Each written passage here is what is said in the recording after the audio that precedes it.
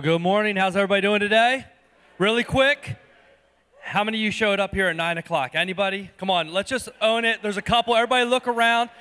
Kind of feel bad for them. They got an extra hour here, so they're super spiritual today. They've been at church for an extra hour consuming coffee or they went and got breakfast. But let's, let's give it up for all the people who are going to show up at 11 o'clock. If we can end up, yeah, right? If we can end really early, we can all get out of here real quick and they'll think the rapture happened, right? And they've all been left behind. We can really mess with them. And so, uh, yeah, so that'd be awesome. But man, this is fun.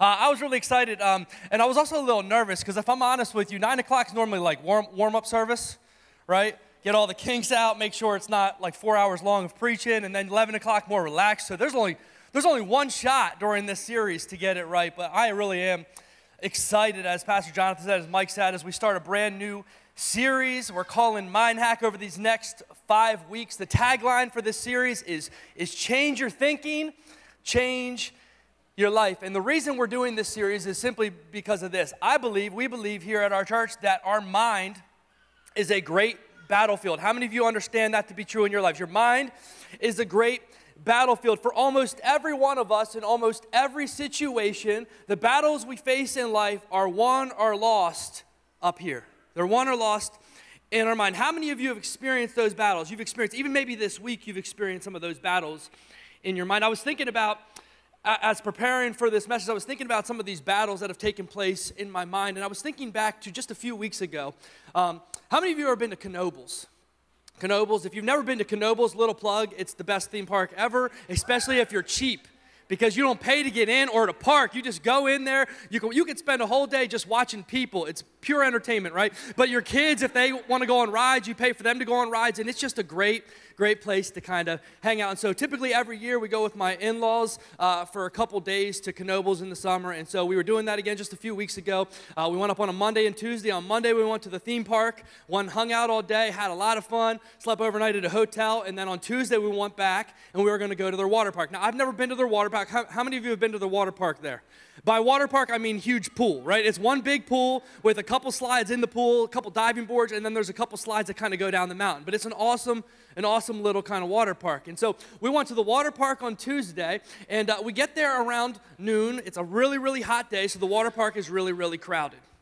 We get there around noon. We're eating lunch together. All the kids are running around. We're over by the snack bar. We're about to get into the pool, throw all the trash away, do all that. We're about to walk in the pool, and all of a sudden I look and I realize that Layton, our oldest daughter, is not here anymore. Like she's not in our group anymore. How many of you parents, you've ever had one of those moments where you can't find one of your children? Right?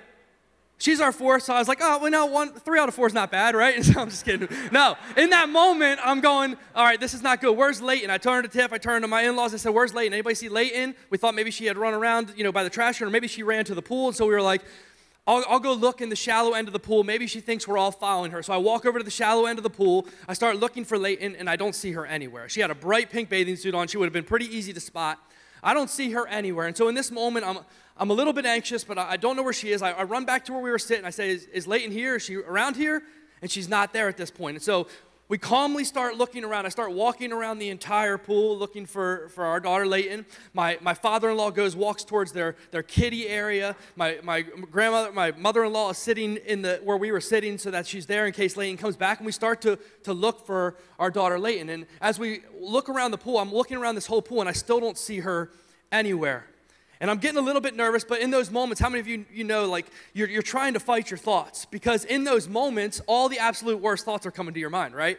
When you don't know. The, the more that time passes, maybe you're not like me, but in those moments, every bad, you know, newspaper article or, or story on the internet or terrible lifetime movie or whatever else is going on, everything is going through my mind. Your daughter's lost, you, you know, somebody stole her, somebody's gonna hurt her, she's drowning. All the worst thoughts start going through my mind. And so, as a couple minutes pass, we still don't find her. I go to one of the lifeguards. I say, Hey, uh, I don't know where my daughter is. Do you have a procedure for this, helping us out or whatever? They calmly start, you know, calling over the other lifeguards. And I'm like, I'm just going to go continue to look. Right? I'm, i start to like kind of lap around this pool, just trying to spot her. And, and as I'm doing this, I'm praying, like, Lord, help me to be calm, help me to be collected, help me to see her, help me to have to see the right things, and all these moments. But as time passes, it's getting harder and harder to stay calm. At this point, it's been about 10 to 15 minutes, and we still have not found her. And I'm a little bit freaked out. And I was doing okay until I looked at my wife. And she was very terrified. She had a look on her face like you need to find her, like she was about to break down. And so at that moment, I'm really getting scared. I start really running. I'm running through the locker room. At this point, I'm yelling her name. I go to the, the one entrance of the park, make sure nobody's taking her out there. I'm doing all this, and I'm kind of frantic at this point. I come, I, I think in my mind, I don't even have my cell phone with me. So if she's back with my, my in-laws, I can't even, I don't even know. So I, I decide I'm gonna run back to where we sit. Maybe she's back. Maybe she came back and she's sitting with, with my, my in-laws at that point. And as I'm running back, I, I look back and she's still not there. And I turn, I'm like, I'm about to make some more laps around this pool. And as I turn to make another lap around the pool to look for my daughter, who do you think comes walking by?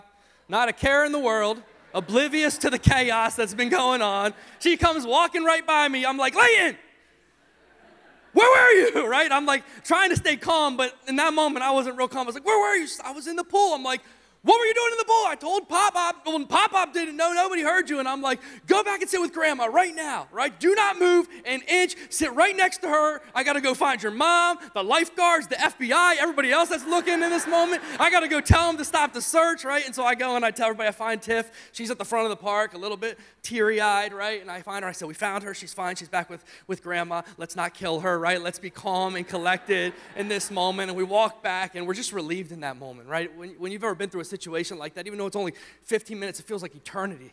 And you're relieved in that moment, and you're just excited that she's fine, and you're just, and I, and I go and I sit with my daughter, and I, and I put my arms around her, and I said, Layton, and she is bawling at this point, right? And you know what she's bawling about? She's not even upset. She doesn't think she did anything wrong. She's bawling because she thinks she's not gonna be able to go in the pool anymore, right? I was in there for 15 minutes and the day's over, right? And so I sit her down and I, and I hug her and I tell her I'm sorry. I said, I'm sorry for yelling. Daddy was just freaked out. We didn't know where you were. All the things were going through my mind. I, feel like my job is to protect you and I feel like I failed. And, and in that moment, I thought, it's just like so many other battles, right? I mean, it wasn't even based on reality because in reality, there's huge fences around that entire park. There's literally one exit that they could possibly go out, right? If I was thinking realistically, like most likely if she was something happened in the pool there would have been there's tons of people around. They're not going to let her drown. There's lifeguards everywhere. Realistically if i would have just kept thinking realistically she was probably fine. But in that moment it wasn't about reality. It was about my mind's ability to go through every worst case scenario. And i was thinking in my mind i was thinking isn't that how it often is in the battles in our lives? It's it's often it's often the, the constant battle that we have waging in our mind those thoughts. You you failed as a father. You lost your child you let her get hurt. She's drowning. All these different, these, these thoughts that were not true thoughts, were not godly thoughts, are the thoughts that were, were going through my head in that moment. And I was thinking in most situations in our lives, right? In most situations that we deal with, there's always this battle going on in our minds. There's always this battle. And, and oftentimes this battle comes down to will I, will I believe the truth of what God says to be true about me? Or will I listen to the lies? Will I allow my mind to be flooded with negative thoughts or will I choose to focus on positive thoughts? Will I allow myself to be filled with worry and anxiety or will I allow the peace of God to rule in my heart? How many of you know what I'm talking about? You've experienced this in your, your life. In fact, I would say this most of us, the battle starts and ends right here. And if you think about your thoughts, and if you think about your life where you're living right now, how your life is right now, I, think if you were to look at your life and evaluate your life, I think the life that you're living right now is usually a pretty good reflection of the thoughts that you're thinking. Right? I'm not saying that everything is just like positive thoughts or anything like that, but most of the time, the things that you struggle with, the things that you, you deal with on a consistent basis, the, the things that you fail in most of the time in your life usually come down to the fact that we, we focus our thoughts on the wrong things. We dwell on the wrong things. And so that's why we say in this series, our tagline is change your thinking change your life. Because I truly believe that if you change your thinking, if you line your thinking up with what God's word says to be true, it has the potential to radically transform your life. And so that's what we're going to talk about over these next few weeks. Today, we're going to kind of set the stage, the table for the entire series. And then over the next few weeks, you're going to hear from a bunch of our different pastors, and they're going to kind of break it down uh, point by point, idea by idea. So they're going to talk about things like how do we know we have the mind of Christ? What does that actually mean? How do we manage our mind, our thoughts on a daily basis? How do we deal with the thoughts when it comes to sin and, and temptation? And so let me encourage you to be here every week for the next five weeks at 10 o'clock.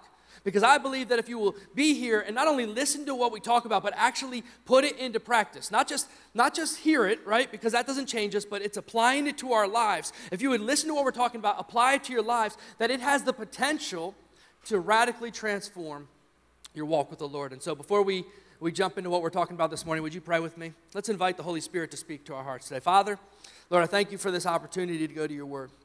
I pray over these next few weeks, Lord, in these few moments here today, that you would speak to us, that you would reveal your heart to us, that you would show us areas in our, our mind where we've allowed our thinking to, to go away from what you would want us to think. And pr- Lord, I pray that you would just radically transform us and change us. And we thank you for that.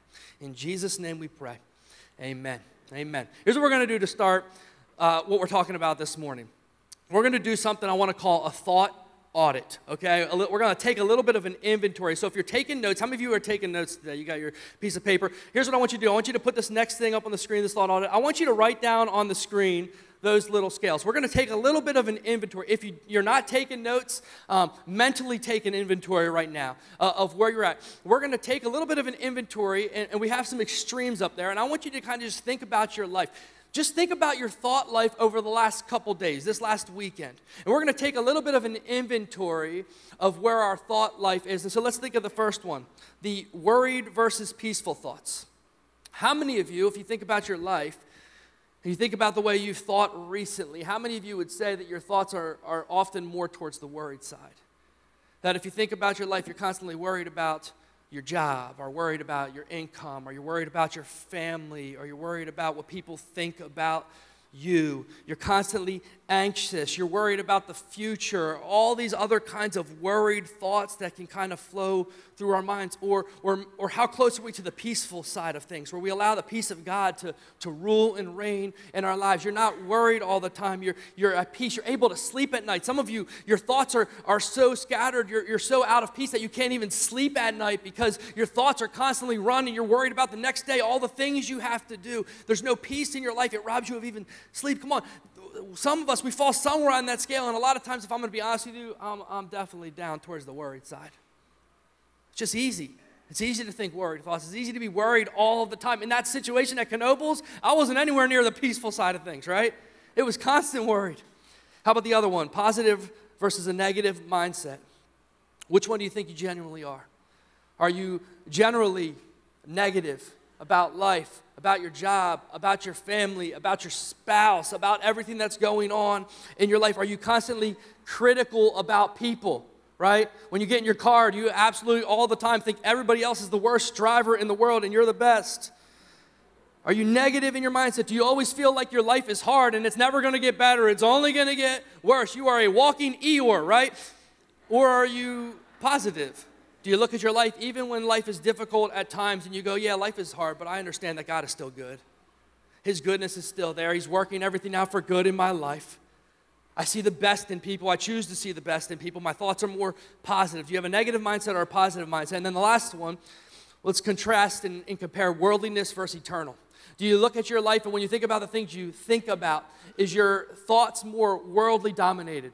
Meaning, what can I get out of this life? How can I live this life to the fullest for my pleasure? How can I get the most money? How can I have the best job? How can I have the most pleasure? Are you constantly chasing after your own wants, your own selfish desires, or do you live with an eternal mindset? How can I live my life to honor God? How can my life be a worship to God? How can I live to be a blessing to other people? How can I represent Jesus well in this life? Is it more worldly or more eternal? Because I think if we do this type of thing correctly, and if we do it accurately, and if we're honest with ourselves, I think that this, this scale kind of paints an accurate picture of our current mindset. And I think what we have to understand is our thoughts are powerful, that our life is typically moving in the direction of our most powerful thoughts. I heard a pastor say it like this He says, You can't have a, a positive life when you have a negative mindset. It's impossible to live the life that God desires for you to live if your mind is constantly filled with negative things. You'll never live that new creation life that God desires for you to live if you constantly have a negative mindset. Change your thinking, change your life. And so, what I want to do this morning is we're going to explore the key verse for our series found in Romans chapter 12, verses 1 and 2. And we're going to talk this morning about this idea of renewing your mind, this biblical concept. And the main idea I want to keep coming back to today, the main thought I want you to, to leave here understanding is simply this it's impossible to live a new life without a renewed mind. It's impossible to live a new life, a transformed life, without experiencing a renewed mind. So let's look at Romans chapter 12 together, verse 1 and 2. Verse 1 says, Therefore, I urge you, brothers and sisters, in view of God's mercy, to offer your bodies as a living sacrifice, holy and pleasing to God. This is your true and proper worship. I want to stop there for a second. Paul, in this portion of scripture, is talking to people who are followers of Christ. If you're in here this morning and you're a Christian, this verse is directed to you. He's saying, if you're a Christian, what should you do in view of the mercy you have experienced, in, in light of what God has done in your life, in light of the, the forgiveness that you've experienced, in light of the grace you've experienced? How should you live your life? What should your life look like? That's what he's saying. In view of God's mercies, here's what you should do. Then he goes on to say this our life pursuit, and this is for all of us as Christians. The life pursuit, the thing that we should be trying to pursue more than anything else when it comes to following Jesus, is ultimately that our life would be a life of worship. You understand what that means? Not just Sunday mornings. We come and we check off our time. Okay, I came to church on Sunday. My, I started my week with worship. That's not the goal. The goal isn't, you know, perfect church attendance. The goal is a, a lifestyle of worship. The way we do everything, we understand it is worship. The way we treat our families, that's worship. The way we treat our spouse, our loved ones, that's worship. The way we treat our coworkers, that's worship. The way we treat strangers when we're driving along the road, that's worship. Everything we do, the, the way we act when nobody else is around, supposed to be worship to God. The thoughts we think are supposed to be worship to God. He says, Here's what you should do. Because you've been experienced salvation, because you've, you're a new creation in Christ, as it says in Second Corinthians, right? It says, If anyone is in Christ, he is a new creation. The old is gone, the new has come. Because you're a new creation, here's what you should be striving to do to live every day of your life, every moment of your life as a life of worship. And then he says this He says, You should live your life as living sacrifices. You want your life to be worship? Then you live your life as a sacrifice. I don't know if you've done a lot of reading in the Old Testament, but if you've read about uh, sacrifices in the Old Testament, what do they normally have in common? They're dead, right? They're dead. They're, they're, they're not alive. So he says you should be a living sacrifice. Why? Because a sacrifice that's dead is only a sacrifice one time. But a living sacrifice is when you choose to die to yourself every single day. Every single day, as a follower of Christ, you wake up and you say, okay, my life is not my own. I've been bought at a price. I'm going to honor God with my life, right? My, my words are not my own. The way I treat my family is not about me. My life is a living sacrifice. My life is an act of worship. I want everything I do and say to be worship. So I will continue to die every single day to myself, my desires, my wants. And I say, not about me. It's all about you, Jesus. That's the goal. Listen, none of us arrive there. None of us are perfect in that way. If you are, I'd like to meet you and call you Jesus, but you haven't arrived. But that's what we should be striving for. That's what our life should be about. It's not just about getting to heaven at some point, it's about living our lives in a way that glorifies God. My life is a life of worship. And then in verse 2, he goes on and he paints this picture of how this happens. The only way this takes place in our lives, he says in verse 2, and really this is the key verse for the series we're going to come back to. In verse 2, it says, Do not conform to the pattern of this world, but be transformed by the renewing of your mind. Then you will be able to test and approve what God's will is, his good, pleasing, and perfect will. Do not conform, be transformed. Do not conform to the world, but be transformed by the renewing of your mind. I don't know if you noticed this, but there's really no middle ground in that statement. There's no gray areas. Often, what happens in our lives, if we're honest with ourselves, is we want to live the life that God wants us to live. We want to live a life that pleases Him, but we try to do it with one foot in the world and one foot following Jesus. We try to get the best of both worlds. I don't. I, I want to hold on to this area of my life. I don't want to surrender this area of my life. I want to. I want to experience God's blessings. I want to experience the life He wants. I want my life to honor Him, to be a life of worship. But I want to see how close I can walk to sin and how close I can walk to the world and still follow Jesus. But unfortunately, it doesn't work that way. In fact, in, in, in 1 John chapter 2, the Bible says this it says, Do not love the world of sin that opposes God and his precepts, nor the things that are in the world. If anyone loves the world, the love of the Father is not in him. For all that are in this world, the lust and sensual craving of the flesh, the lust and longing of the eyes, and the boastful pride of life, which is pretentious confidence in one's resources or in the stability of earthly things, these do not come from the Father, but are of the world. And the world is passing away, and with its lust, the shameful pursuits and ungodly longings. But the one who does the will of God and carries on his purposes lives forever. So again, two choices. We are either conformed to the world. And if we're conformed to the world, what will happen is we'll think like the world thinks. And then we'll start to do what the world does. We'll, we'll act like the world acts because we're thinking like the world thinks because our actions follow our, our thoughts. Or we can be transformed. And how does it say it happens? It doesn't say by trying to do a better job because oftentimes that's what we do. I just got to change my actions. I just got to do I work harder. I got to just try harder. He doesn't say that. He says if you want to be transformed, it all starts up here. You transform by the renewing of your mind. So, how do we go about doing this? Like, how do we go about having a renewal in our minds? What does renewing our minds even mean? Well, one of the best definitions that I could kind of come up with or even find was, was simply this. And I think this is simple and hopefully easy for us to understand. Renewing your mind is simply the process of exchanging lies for truth. Renewing your mind is the process of exchanging lies for truth. In other words, we all have messed up ways of thinking. Our brains are, are part of a, our fallen nature. You understand? Like, we don't think the way God wants us. We're not born with the mind of Christ. We're not born with the, with the ability. Our, our mind is fallen just like the rest of our, our sinful nature. And not only that, but then we also have lots of things that have happened in our lives that have, that have caused us to think the way we think. We've dealt with rejection in our lives. And so our brain is pretty amazing, but what ends up happening is think about it like this. If you walk from your front door to your, you know, your, your driveway or whatever, and you don't walk on a sidewalk, and you just walk across the grass over and over, the same path every single day, what happens eventually? That grass starts to die and it builds a little bit of a rut. You make your own natural sidewalk, it's so much cheaper, right? The same thing happens in our minds. When we think a certain way over and over again, it creates a neural pathway. And the only way to, to change that neural pathway is to replace it with a new neural pathway. It, it's the, it, the process, renewing your mind is the process of exchanging those broken. Listen, this isn't about just being a positive thinker because sometimes people think that. Well, if you just say you're rich, you'll be rich. No, you'll probably be poor still, right? It's not just about, I'm, I'm rich, I speak richness over my life, because people look at it and they take it to that extreme. Or they do the other thing, they say, well, if I just had more information, if I just knew more, then I would be renewed. So we, we have information and information and information, but what we forget is information doesn't change us. It's information plus application that equals transformation. It doesn't change us just knowing more. That's not what any of this is about at all. It's about replacing the broken, sinful, fallen way of thinking that we've developed because of the way we're born and because of the things we've experienced in life, and constantly replacing it with the truth of what God says to be true, what His Word says to be true. The Bible paints this analogy when it comes to renewing your mind. It paints this picture uh, that it's a lot like changing your clothes. How many of you in here like to exercise?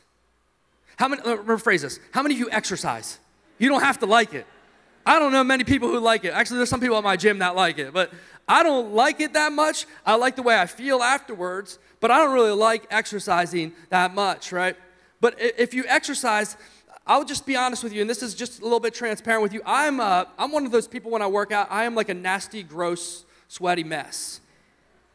I'm just, I'm gross. I walk outside today, it'll be hot, I'll be dripping sweat. So I go to the gym and I sweat like crazy. It's gross, it's disgusting. In fact, if I'm completely honest with you, if I go to the gym and I walk out of there and I'm not drenched in sweat, I don't feel like I did anything. I could have worked hard on stuff, but if I'm not like nasty, gross, that I have to take a shower, I don't feel like I actually worked out. So a lot of times during the week, me and Pastor Jonathan and Mike oftentimes will go to the gym a couple times during the week during lunch, get a workout in, um, and then get showers and come back to come back to work. And so every single day, sweaty and gross, go through that. Can you imagine for a second if you went to the gym and you get sweaty? If you're like me, you get really nasty, gross, sweaty. You go and get a shower, wash your hair, your body, get smell, put some deodorant on, you smell great. And immediately you get out of the shower smelling all nice and fresh, and you take those wet, sweaty socks and put them on. You take your dirty underwear and put them back on. You take your soaking wet shirt and you and you go, "Well, I'm clean, so I'm going to just go back." Like, can you imagine if I went back to work like that? I would be working by myself. Nobody want to be around me, right? Because I'd be gross. It's just disgusting. It's a disgusting thought. Well, the Bible says you're a new creation. You are new. You're fresh. You're clean. You got that nice shower. But oftentimes, what ends up happening is we're a new creation, but we continue to put on our old nature. We continue to put on our old mindset. It'd be the same way as putting on those nasty clothes. It's not what it, we're, we're called to take off the old, right, and put on the new. The Bible says it like this in Ephesians chapter 4. It says, With the Lord's authority, I say this to you live no longer as the Gentiles do Gentiles here is just another word for unbelievers. Don't live like people who don't know Jesus, for they are hopelessly confused. Their minds are full of darkness. They wander far from the life God gives because they have closed their minds and hardened their hearts against Him. They have no sense of shame. They live for lustful pleasures and eagerly practice every kind of impurity. But that isn't what you learned about Christ. Since you have heard about Jesus and have learned the truth that comes from Him, throw off your old sinful nature right? That involves something that you do. Throw off your old sinful nature and your former way of life, which is corrupted by lust and deception. Instead, let the Spirit renew your thoughts and attitudes. Let the Holy Spirit renew your thoughts and attitudes and put on your new nature, created to be like God truly righteous and truly holy. So I just want to give us two things to do when it comes to renewing our minds. And again, we're going to explore these thoughts in much greater depth and detail throughout this series. How do we renew our mind? Number one, we do what the Bible says we put off the old and we put on the new. We put off the old and we choose to put on the new. In Colossians 3, it says it like this Since you have been raised to new life with Christ, set your sights on the realities of heaven, where Christ sits in the place of honor at God's right hand. Think about the things of heaven, not the things of earth. For you died to this life, and your real life is hidden with Christ. And God, if you continue to read Colossians 3, it talks specifically in greater detail about the things you should be putting off says, put off these, these parts of your nature, put off these ways of thinking, put off these other things, and put on your new nature, which is created to be like Christ. It goes on to repeat what we read in Ephesians. And so the first thing we need to do is we need to learn to put off the old, the old way of thinking, the lies that we've believed in our lives, that we've, that we've held on to, as, that we've defined ourselves by as, as truth. And we need to choose through repentance to, and daily confession to put off thoughts like this. Some of these thoughts, let me tell you something that maybe you've, that you've thought of in your life. I'm just the same person I used to be. I'm still the same person. I don't feel like a new creation. I can't change. How many of you ever thought that thought? I can't change. I can't change at all. I have to earn God's grace. I have to continue to work for God's grace in my life. God has given up on me. Today is going to be horrible. Let me tell you, not a great way to start your day. You're really not setting yourself up for success, right? Today's going to be terrible. My family is terrible. If I just had more money, I would be more happy. All of these lies that we begin to believe that are not based on truth at all. We need to take off of the old. We need to put away the old way of thinking and we need to replace it, exchange it with the truth of God's word. Truth like this I am the righteousness of God in Christ Jesus. Jesus has died for all of my sins. God is not against me, but He is for me. I am a new creation. I'm not trying to be a new creation. I'm not working to be a new creation. I am a new creation in Christ. Right now, God is working for good everything in my life because He's called me according to His purposes. We need to replace the lies that we believe with the truth of God's word. And in order for us to do that, we have to be intentional about taking time to know and meditate on God's word. Do you understand? It's impossible to replace the lies with the truth of God's word if you don't ever spend time in God's word. It's impossible. It's not going to just happen. If you put the, the Bible under your pillow at night and you sleep on it, it doesn't happen by like osmosis, right? You need to spend time meditating, knowing God's word. I heard someone say it like this. I thought this was good. They said, Your mind is the object of renewal. God's word is the instrument of renewal, and the Holy Spirit is the agent of renewal. In other words, the Holy Spirit's like the doctor, and the word is the scalpel. And our, our mind is, is what's getting a little bit of a brain surgery done. We need to invite the Holy Spirit into our time in God's word. Invite him into the time. The Bible says that the Holy Spirit, one of his jobs is to lead us into all truth. To lead us into all truth. He reveals truth to us. He speaks truth to us. And so we need to invite the Holy Spirit to, to guide us when we take time in God's Word, to, to change us and to show us things in our life that aren't as they should be. And the Holy Spirit works through the Word and radically transforms us. We need to take off the old and put on the new. And then the next step, if you're taking notes, is simply this ready? Repeat, repeat, repeat. Take off the old, put on the new, repeat, repeat, repeat. Do it over and over. This isn't a once and done type of thing. This isn't I said a prayer, so I'm good to go for the rest of my life type of, of thing. This is a, a daily process from, from now until the time that you die or Jesus comes back, right? Like you wouldn't change your clothes just one time, right? I went to the gym on Monday, I changed my clothes. The rest of the week, I'm just going to wear the same dirty clothes. That would be gross.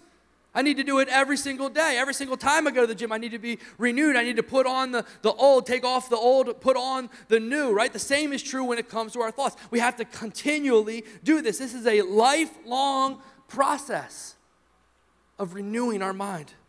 Change doesn't happen overnight. How many of you ever experienced that in your life? How many of you go, you know what, I'm gonna be real fit. Gonna go to the gym one time. Look at me. I am so good looking. It doesn't work that way, right? It's a process. It takes time to lose weight, to transform your body. The same is true when it comes to our minds. You're not going to fix the years and years of, of, of bad thinking and wrong thinking by simply taking your thought one time and, and saying, okay, well, I'm going to change my. Th-. It doesn't happen like that. It's a process of continually doing this. It's really not about trying, it's about training, right? There's a difference. How many of you understand there's an enormous difference between trying to do something and training to do something? Like, for instance, how many of you in here you could do a marathon today? Put your hands up. Let's look at all the healthy people. Like, if you want right now after church, you, you could, in your, in your church clothes right now, you could go out and run 23 miles right this second. Anybody? I saw some people raising their hands. Listen, it doesn't matter how hard I tried, I would not be able to do that unless I was able to break it up over a week with sleep and meals in between, right? Or unless there was absolutely no time limit. I, I couldn't do it. I couldn't try. It doesn't matter how hard I try, I wouldn't be able to do it. But I tell you what, I could train to do it. I could train myself to do it. I could follow a regimen for a while, running certain amounts at a time, working on, on, on my eating, working on eating the right thing during the race, all this different kind of thing. I could train myself to run a marathon, but I could not try right now to just do it because there's a huge difference between trying and training. And oftentimes, when it comes to our thoughts, when it comes to making changes in our lives, we just try to do it. And even if you look at that verse, it's not about trying, it's about dying to ourselves anyway, right? Right? A living sacrifice doesn't try to be a sacrifice, it dies to itself. That's how it becomes a sacrifice. It's not about, about trying, it's about training ourselves over and over. Repeat, repeat, repeat. I want to look at one verse when it comes to this as we close this morning. 2 Corinthians chapter 10 verse 5 it says it like this we demolish arguments and every pretension that sets itself up against the knowledge of God and we take captive every thought, and we make it obedient to Christ. Pastor Jonathan is going to share this verse and explore this verse a little bit more in a few weeks. But I want to just think about that for a second. That idea of taking every thought captive and making it obedient to Christ. I was reading about this this week as I was preparing. Scientists believe on the low end that we have around 50,000, on the high end, 80,000. They believe that we have between 50,000 and 80,000 thoughts every single day. Our brains are little computers. We have so many thoughts. A lot of times those, re- those thoughts are repeated, but we have between 50,000 and 80,000 thoughts every single day. According to this verse, we have a responsibility in what we do with those thoughts.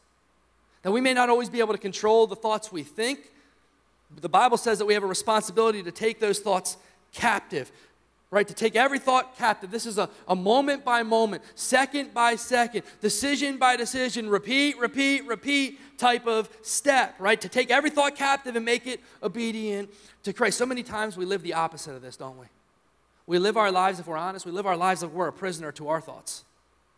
I've thought this way for my whole life. I've continued to think this way. There's no way to, to win this battle. I'm never going to get over this sin in my life. I'm never going to, to become that new creation that God has called me. I'm always going to struggle with this. I'm never going to get better. I'm a prisoner to these thoughts that I've believed about myself, right? All these different things. We live our lives like we're a prisoner to our thoughts, but the Bible says it's the opposite that our thoughts are our prisoner. That our job as followers of Christ is when we realize a thought doesn't line up with the truth of God's word, we're not supposed to just submit to it and go, okay, it's just my thoughts, it's what it is. I have to just listen to it. It's my thoughts, right? No, no, no, that's not what we do. We listen to our thoughts, and when we realize a thought doesn't line up with the truth of God's word, we take it prisoner. We grab a hold of it and we say, No, no, no, I don't listen to this thought because this isn't the truth of what God says to be true. And because this doesn't line up, I'm holding on to this. I'm going to beat this thought into submission and line it up with the truth of God's word because I'm not a prisoner to my thoughts. My thoughts are a prisoner to my God. I take my thoughts captive and I make them obedient to God's word. And so here's what I want to do this morning as we close. This is a really simple and also very difficult, all at the same time, challenge for us this week. I want to challenge us this week to simply just try to live out this one principle. To live out this, this principle of taking your thoughts captive and making them obedient to Christ. I want to challenge you to do this by reading Romans chapter 8. Write down Romans chapter 8 somewhere. Mark it in your Bibles. I want you to read Romans chapter 8 over and over and over and over till the, the, the thoughts and the concepts of Romans chapter 8 become second nature to you.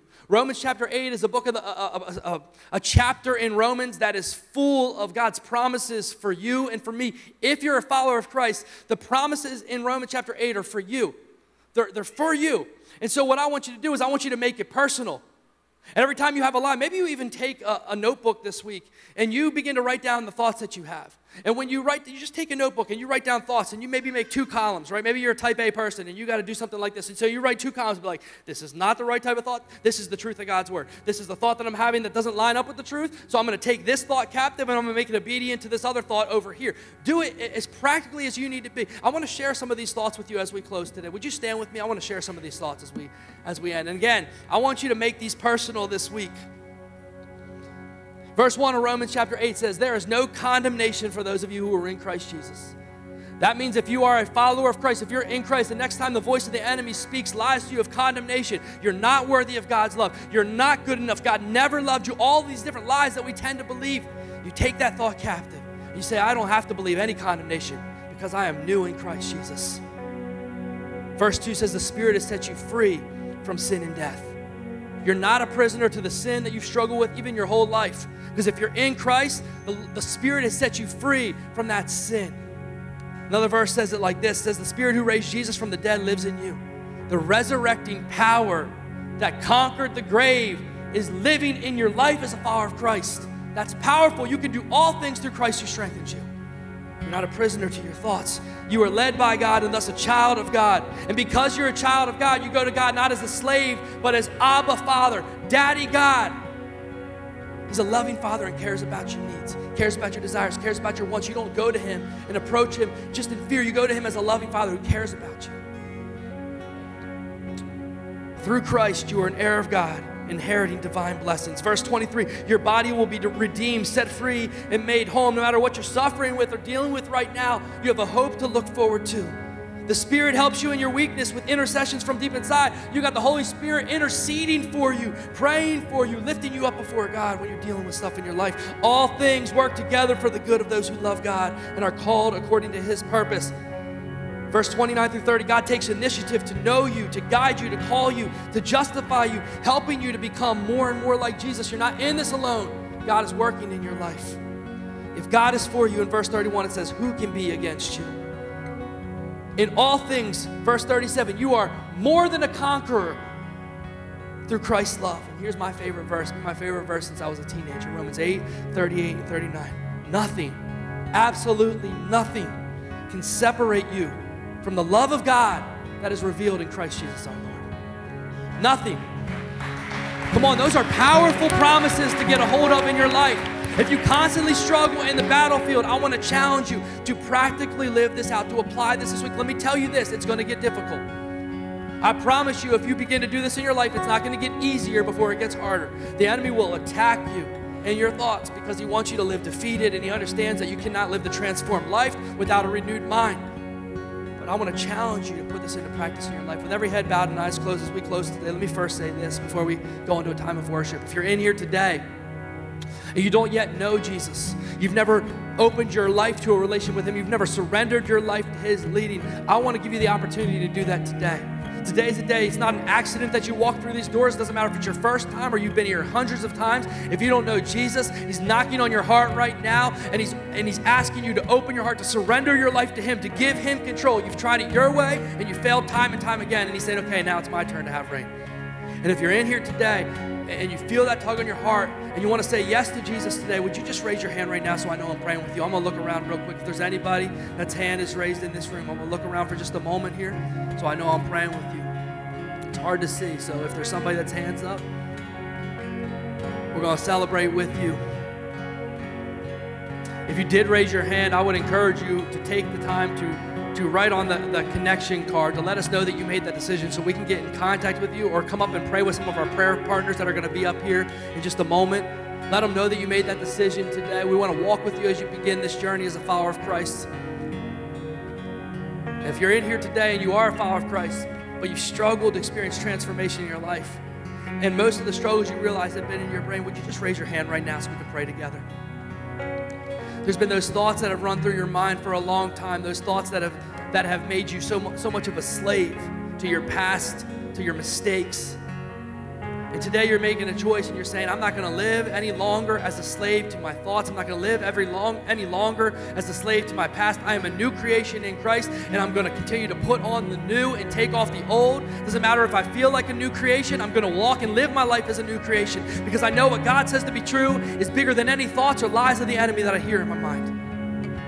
As we pray today, Father, I thank you, Lord, for every hand that is raised right now, Lord. We want to live our lives as transformed creation. We want to live as new creations, but we understand that it's impossible to live as a new creation without a renewed mind. So every single moment this week, every single day, when we when we find ourselves dwelling on thoughts that are not true, when we find ourselves uh, consumed with thoughts that don't line up with the truth, we're going to take those thoughts captive we're going to make them obedient to the truth of your word. We're going to take time to, to spend in the word so we can know your truth, and your truth will set us free. Lord, we thank you for your presence. We thank you for your word. We thank you for what you're going to do in our lives over these next few weeks. In Jesus' name we pray. Amen.